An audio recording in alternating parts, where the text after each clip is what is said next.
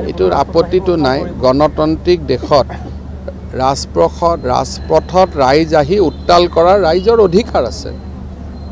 সেইটো কোনোতো আপত্তি নাই। খালি আইন শৃংখলা ট্ৰেফিক নষ্ট নকৰাকৈ পেচেণ্ট এম্বুলেঞ্চক কষ্ট নিদিয়াকৈ যোনে যিমান উত্তাল কৰে তাত আমাৰ কোনো আপত্তি নাই। ৰাজনৈতিক প্ৰসংগ ফুটিঙৰ প্ৰসংগত ভূপেন বৰাই দলৰ সাংসদ বিধায়কক মুখ বন্ধ কৰি ৰাখিবলৈ আহ্বান জনাইছে। তাৰমানে। যদি কোনে ভোট দিছে জানিব লাগে মোৰ লগত কথা পাতিব লাগে। আৰু যদি বাকী আৰু বাকীটো তেওঁলোকে যি কৰি আছে এইটো তেওঁলোকৰ কথা। নাই মইতো তালিকাখন দেখা নাই কিন্তু কোনে কোনে ভোট দিছে সেইখিনি মই মোটামুটি জানো। গতিকে মোক ফোন এটা কৰি সুধিলে লেঠাটো মৰি যায়। ইমান আৰু ইমান লৈ পেলাই হুলস্থুল কৰি থকাৰ কি দৰকাৰ? ভূপেন বৰাই ফোন কৰিব লাগিব। মোক আহি সুধিলে আহি পেলাই সুধিলে হ'ল তেতিয়া মই লিষ্টখন দি দিম। মই কোনে কি কৈছে মই ষ্টেট মই কোনে কি কৈছে মই ষ্টেটমেণ্ট চোৱা নাই। খালি মই এটাই কথা কৈছোঁ যে ক্ৰছ ভোটিং শব্দটো ভুল।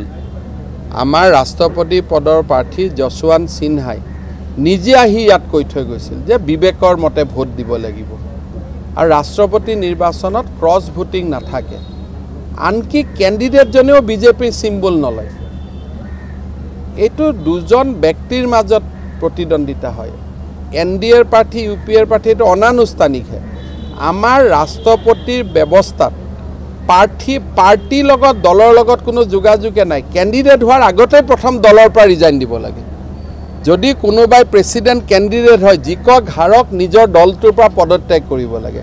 সেইকাৰণে আপোনালোকে এটা ভুল বাৰ্তা দি আছে যে ক্ৰছ ভোটিং এন ডি এক দিলে ইউ পি এক দিলে ইয়াত কোনো পাৰ্ট পাৰ্টি নাথাকেই। ৰাষ্ট্ৰপতিজন হ'ল পাৰ্টি লেছ তেওঁৰ পাৰ্টি থাকিবই নোৱাৰে। আৰু ভোট এইটো নিয়মেই যে যোনে যাক ভাল পায় বিবেকত ভোট দিব পাৰে। গতিকে এইটো ক্ৰছ ভোটিং নহয় ৰাজ্যসভাতহে ক্ৰছ ভোটিং হয়। ৰাষ্ট্ৰপতি পদত ক্ৰছ ভোটিং নহয়। আপোনালোকে শব্দটো ভুল ব্যৱহাৰ কৰি আছে। মই নেশ্যনেল মিডিয়া ক'তো মই ক্ৰছ ভোটিং শব্দটো আলোচনা কৰা দেখা নাই। কাৰণ ৰাষ্ট্ৰপতি নিৰ্বাচনৰ পিছত সেই নিৰ্বাচনটোৰ ওপৰত কোনো সংবাদ মাধ্যমে আলোচনাও নকৰে। কাৰণ ৰাষ্ট্ৰপতিজন হৈছে বিতৰ্কৰ ঊৰ্ধত আপোনালোকে চাওক গোটেই ভাৰতৰ নিউজ পেপাৰ চাওক যিদিনাখন হৈ গ'ল হৈ গ'ল। সেইটোক আৰু কোনেও চাবোনৰ দৰে ফেন উলিয়াই থকা নাই। কাৰণ ৰাষ্ট্ৰপতি পদটোৰ গৰিমা ৰক্ষা কৰাটো আমাৰ সকলোৰে দায়িত্ব।